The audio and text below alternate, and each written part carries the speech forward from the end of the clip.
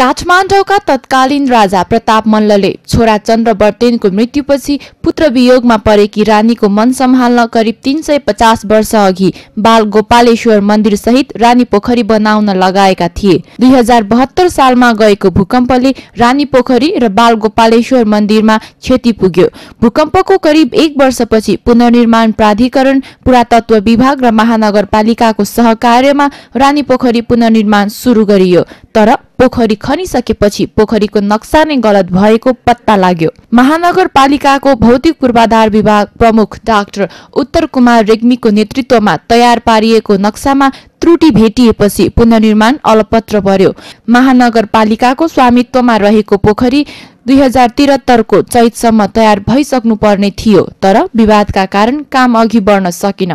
रानी पोखरीको काम चाहिँ भइरहेछ अलिअलि काम भइरहेछ धेरै जति हुनुपर्ने काम चाहिँ भएको छैन किनभने यो यसमा ठेकदार पक्षबाट यो ढिलाइ कारणले भएको हो किनभने हामीले त समयमै टेन्डर चाहिँ अब त गरेका छौँ किनभने यो त्रिहत्तर साल असारमा हामीले उसँग ठेकदार पक्षसँग हामीले त एग्रिमेन्ट गरेको हो त्रिहत्तर सालको अन्तिमसम्म यो बनाएर बुझाइसक्नु पर्नेसम्म अहिले आठ महिना भइसक्यो यो पूर्ण रूपमा यो बनिसकेको चाहिँ चाहिँ छैन र भित्रको मन्दिरको पाठ पनि पुरातत्व विभागले आफैले बनाउँछु भनिरहेको छ त्यो पनि सुरुवात हुन सकेको छैन।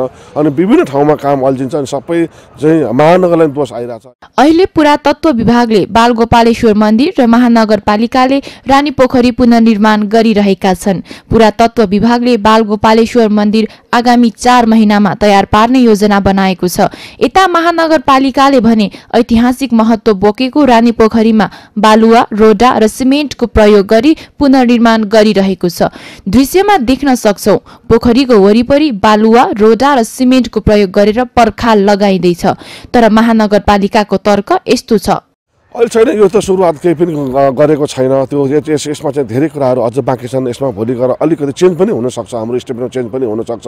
जुन पुरानो स्तरमै हामी यसलाई चाहिँ लानुपर्छ भन्ने महानगर प्रमुख विद्याचन्द्र साकेले यसमा पुरा निर्देशनै चाहिँ दिनुभएको छ।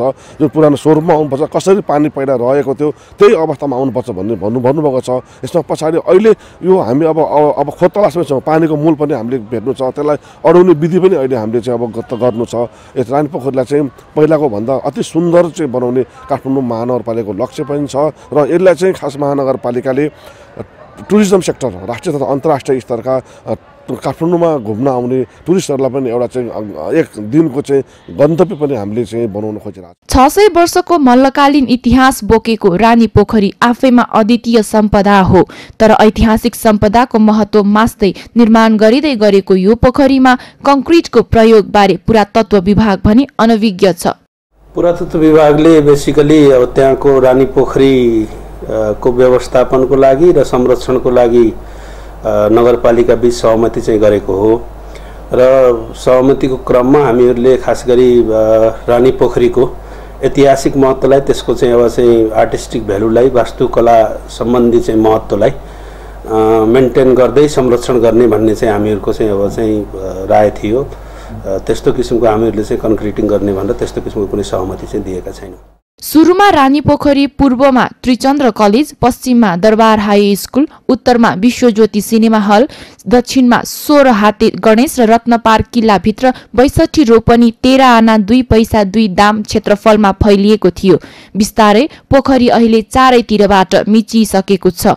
तर पनि महानगरपालिकाले दक्षिणतर्फको सोह्र हाते गणेश मन्दिरलाई समेत पोखरी भित्रै पारेर नयाँ संरचना बनाउन खोजिरहेको छ। तीन सय पचास वर्षदेखि मल्लकालीन सभ्यता र सम्पदाको पहिचान दिइरहेको यस रानी पोखरीलाई जसरी पुनर्निर्माण गरिँदैछ प्रक्रिया सम्पन्न भएपछि रानी पोखरी अब रानी पोखरी रहेन भन्ने दिन नआओस्।